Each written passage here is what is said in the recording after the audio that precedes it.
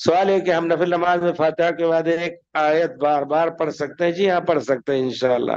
پیارے رسول صلی اللہ علیہ وسلم تحجد کی نماز میں حضرت عائشہ کہتی ہیں کہ کھڑے ہوئے آپ تو سور فاتحہ کے بعد آپ نے ایک آیت صبح تک پڑھتے رہے صلی اللہ علیہ وسلم۔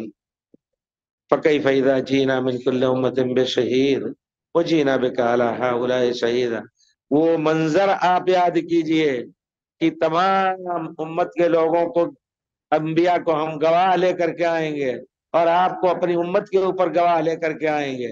آپ رونے لگے، رو رو کر کے یہاں تک کہ آپ کی داڑھی سے آنسو ٹپک کر کے زمین پہ گر رہے تھے۔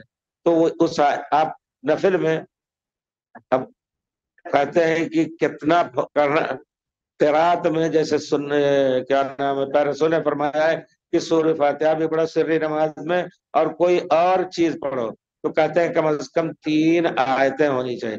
بعض لوگ کہتے ہیں اب حنفی مذہب میں تو یہ خالی جھک لینا کافی ہے، پڑھنا ضروری نہیں، لیکن یہ پیارے رسول صلی اللہ علیہ وسلم نے اس کا حکم دیا ہے، اس وجہ سے یہ واجب ہے انشاءاللہ۔